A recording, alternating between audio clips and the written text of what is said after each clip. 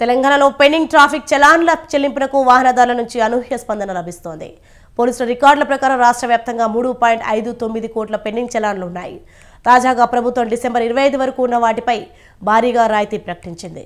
ద్విచక్ర వాహనాలు ఆటోలకు ఎనభై శాతం ఆర్టీసీ బస్సులకు తొంభై శాతం ఇతర వాహనాలకు అరవై శాతం రాయితీ ప్రకటించడంతో మంచి స్పందన లభిస్తోంది.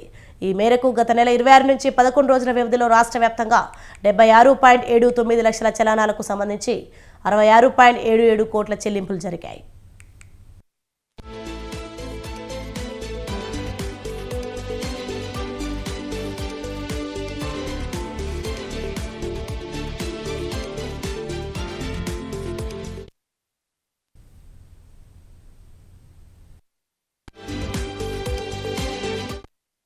ఈ అవకాశం మరో ఐదు రోజులు మాత్రమే ఉందని నగర ట్రాఫిక్ అదనపు సిపి విశ్వప్రసాద్ తెలిపారు.